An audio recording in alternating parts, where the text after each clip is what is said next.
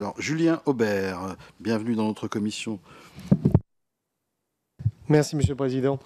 Euh, effectivement, je, vous ai bien écouté. Euh, il, me, semble que finalement le développement des, énergies renouvelables vous pose un problème de, de gouvernance.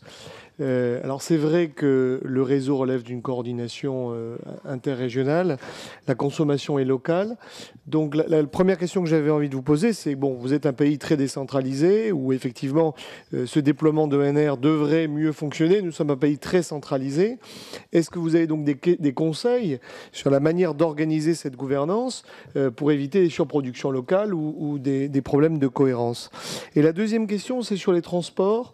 quel est votre quelle est la vision allemande? Est-ce que vous croyez au, gaz naturel, au gaz naturel liquéfié? Est-ce que vous croyez à l'électrique, au tout électrique, par catégorie de véhicules? Quelle est votre stratégie? Et comment d'ailleurs voyez-vous l'évolution de la consommation d'énergie euh, en Allemagne sur les 30 prochaines années? Merci.